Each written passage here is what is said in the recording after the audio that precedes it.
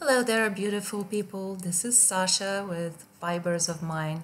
Today I will show you how to make this crisscross alternative way to attach your cord to the dowel. Take your cords, fold them in half and hang them over the dowel, crisscrossing up front. Then take the front cord, bring it around and over the back cord through the loop.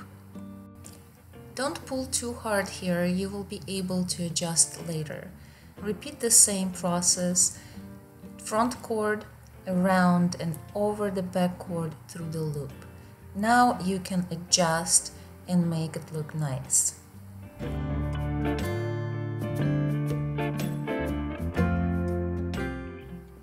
I will repeat two more times so you can see it again and to show you how the cords will look next to each other tied to the dowel with this method.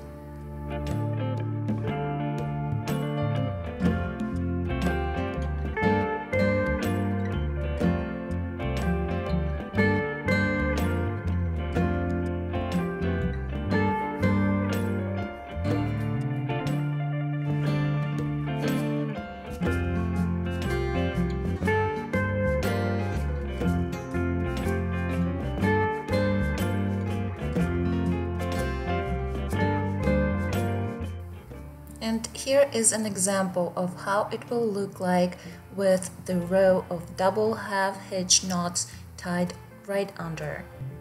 Thank you for watching and happy making!